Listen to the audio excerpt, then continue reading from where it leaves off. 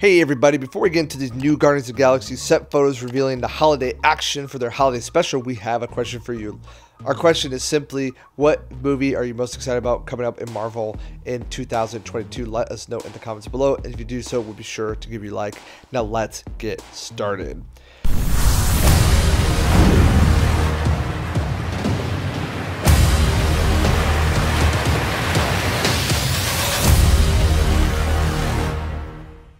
It's been a lot of crickets when it comes to other Marvel properties outside of the Doctor Strange Multiverse of Madness, whether that's singular focus to make sure that movie does really well, or just that we don't have too much about the other films. Things like Thor Love and Thunder, Wakanda Forever, and Guardians of the Galaxy has not been giving us too much as of late.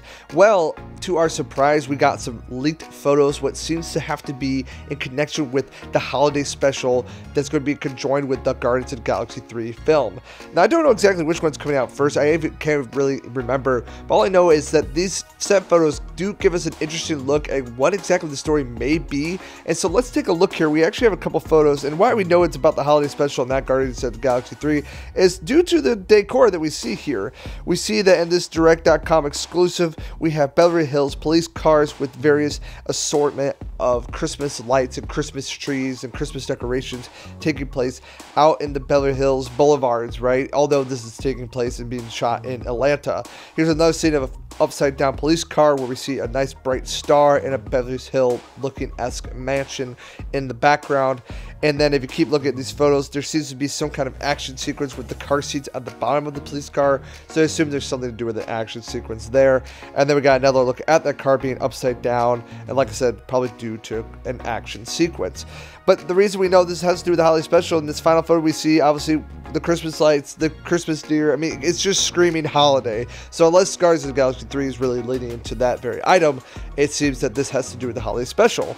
I think the most inherent question is, what exactly are the Guardians doing back on Earth? Like, why are they here? I look forward to it. Have They haven't been on Earth at all, or really since Peter Quill's time on Earth. So I'm really interested to see A, why they are on Earth, and B, why they are in Beverly Hills. And that kind of motley crew being in that type of area is going to be really interesting and probably potentially fun. There's actually some rumors that Kevin Bacon has something to do with it and will be showing up maybe in this very special holiday special, which I know that would almost be like a meta experience since Kevin Bacon is someone that uh, Peter Quill holds dearly in his American history.